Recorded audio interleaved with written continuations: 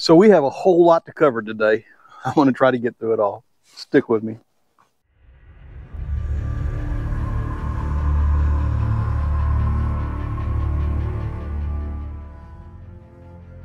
So what am I doing today? Well, we're going to talk about LS and we're going to talk about some of the history. Why am I doing this? Well, because whenever I was looking for a tractor, one of the things that I had to consider was where's this tractor made, who makes it, and how long have they been in business. We're going to go through that today and I'm going to try to do my best. Now, look, I don't have all the information. I'm not an expert at all, but I hope to be able to cover enough information to get you interested for you to go back and look at your history. One of the biggest problems that I had whenever I was looking for this tractor is I was reading forums and I was looking at uh, anything I could find on the tractor, anybody I could talk to about the tractor. And one of the things I found out is people really don't know anything about the tractor, about the brand and about the company. My aunt's uncle's cousin has one and it's a piece of junk. That was one thing but then there was people rebuttaling that saying now wait a minute i've had these tractors for years and i'm and they've been great we're going to look into some of this and we're going to find out that LS has been around for a while. They're not a brand new company like some people seem to seem to say they are.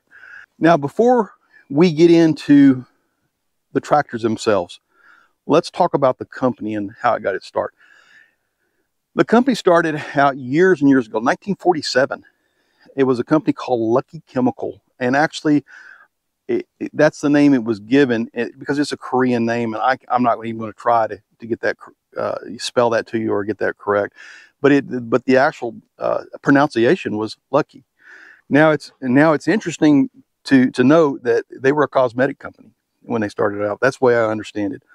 Now in 1958, another company was started, Gold Star a lot of you may have heard of Gold Star from years and years ago. Uh, Gold Star used to make electronics and, and other stuff. But now what happened is Lucky and um, Gold Star, they came together and they created Lucky Gold Star.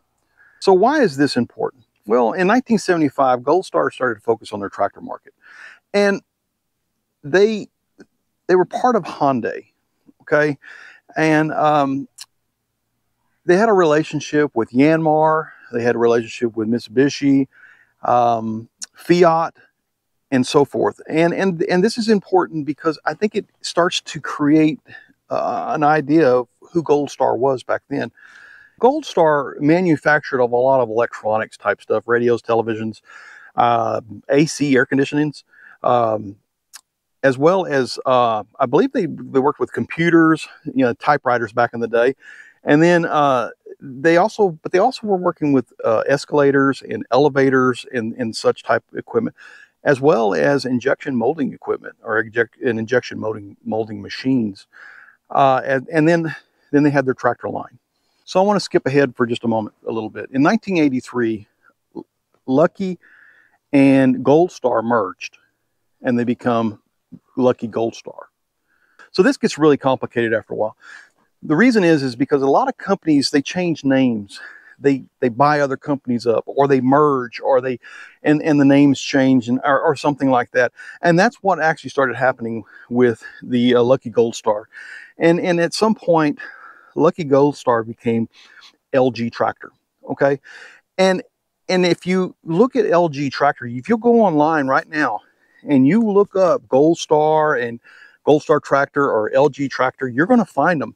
They had names like, uh, I think it's Gold Star Fiat, uh, and then the Gold Star brand itself. And under the LG brand, they had LG Fiat as well as LG New Holland. Go online, take a look at that. There's some, some pictures and, and you'll find some information about that. So while under the uh, tractor brand of LG, they made tractors from Montana, Long, as well as Farmtrac, and I believe it was TAF. It's T-A-F-E. They made tractors for those different brands. Now, there's an argument that goes around, oh yeah, I bought an LS tractor and I mean, and then they call it an LS tractor and they call it's a Montana. Well, guys, do your research because Montana and LS are not the same company. Uh, actually, Montana is a company that was started in Arkansas. So the Montana brand was started in 2004, but not by LS or LG. It was started by uh, a company out of Arkansas, JB Hunt. You might recognize that name ever trucking company. They were part of that group that started Montana Tractors. Now, keep in mind that Montana Tractors themselves were not made just by just by uh, LS or LG. Uh, LG, uh, the Montana Tractors were making um, were made by TYM, uh, Escort. I can't remember all of them. Um, I think there's one called. Oh, I know what it. Uh, J. Those were all making tractors for Montana. So it's not just an LS tractor or an LG tractor at the time. These tractors were being made by other companies as well. Now, LG became LS in 2005. LS Tractor USA started in the United States in 2009. So in 2008, LS Mtron spun off from another company that had what's called LS Cable. Now, I don't know a lot about LS Cable. I just know that now they've transferred. In 2008, they transferred over to LS Mtron. Remember in 2009, they came to the United States. LS, I believe, had got a contract with CNH, Case New Holland, and they began making their tractors as well. Remember, LG had already done that. And so when they became LS, LS now is now making tractors now for some of the lower horsepower tractors for New Holland. So now basically this company from 1977 until today has been building tractors either for themselves or for someone else. They've built a lot of tractors over those years. The company has grown and expanded and done a whole lot of different things to, to make this company grow. This is a normal process in any company uh, that is growing and, and trying to develop. They, they reach out, they start to grow, and uh, they become different. Sometimes they become different companies or different company names. And so this is what happened with LS. This, they went from you know, from from Lucky Chemical all the way through Gold Star to Lucky Gold Star to uh, Gold Star to LG to LS now, LS Mtron. Now, uh, they they've made tractors for several different people. They're they're in several different countries. They're all over the world. They're not a local.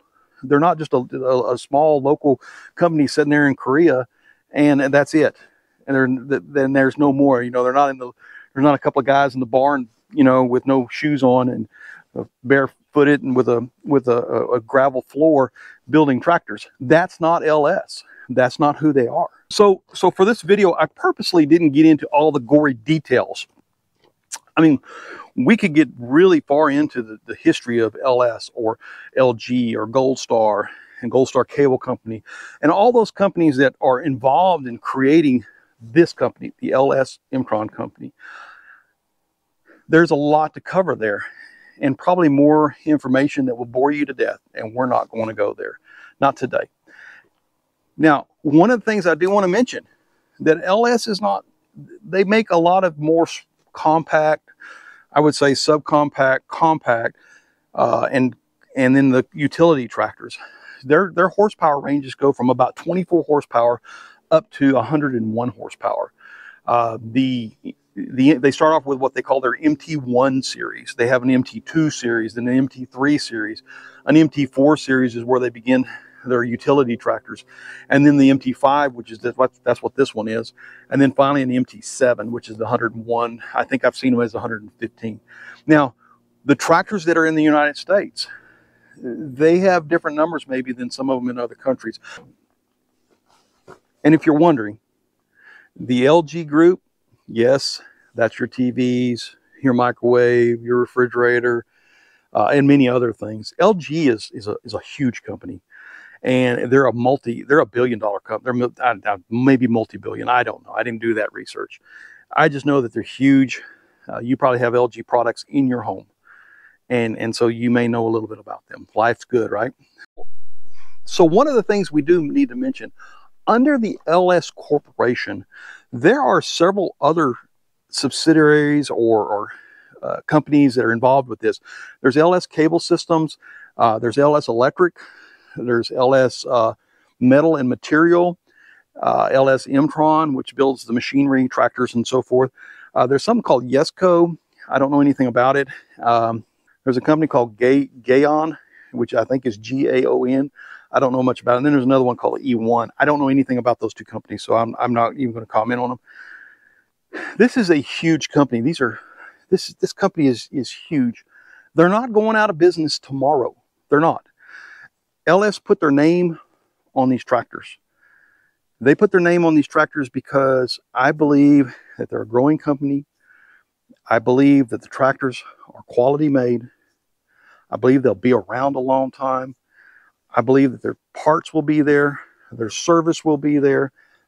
Now, I will say, bad dealer support is not going to help matters. And so if you're a dealer watching this and you don't provide service to your people, that's on you. LS will only grow really good if they get good dealer support. Dealers can make or break any company. I don't care if it's John Deere, I don't care if it's Kubota, Kioti, TYM, doesn't matter. What matters is that support. That dealer has to support the product that he sells. People get in there. You know what? Here's not the, it's, that's, that's not just the whole deal. People are going to buy tractors. They're going to buy parts. Uh, they're going to come in for service. Your business survives on those items. In the United States, LS has four assembly uh, plants now. There is one in North Carolina. Uh, there's one in California. There is one in Louisiana. And they just built one here in Texas. There's one here in Texas now. They also have a parts uh, division. I think that's all stationed out of North Carolina. But they have all of that now here in the United States. This is a growing company. This is not some small little mom and pop operation. There's a lot of information here to, to get out to you. And I hopefully, hopefully, I give you the proper information. I can make a mistake, okay? So if you see something there, make a comment down below. I'm not going to get upset. I just need to know that I made a mistake. And then we'll correct it that way. LS is growing. Have they had problems in the past? Yes, they have. Uh, the first times I looked at LS, I walked away. I didn't want to buy an LS. I didn't know what they were. I didn't know anything about them. But the company is growing and making a difference, and people are starting to notice them, and people are starting to buy them. I am not here to sell you an LS tractor. You want to go buy a grain tractor? Go buy you a grain tractor. You want to go buy you an orange tractor? Go buy you an orange tractor. I have never run down any of these brands. I've shown you facts of things I saw on them that I didn't like. But then again, all of these videos have been based around why I bought the LS. And that's the key to this. That's why I'm doing this video. Research. You need to do it. LS has a full research and development team. They are a big company. Get out there and do your research and see what you see. I appreciate everybody. Please like and subscribe. Until next time, thanks.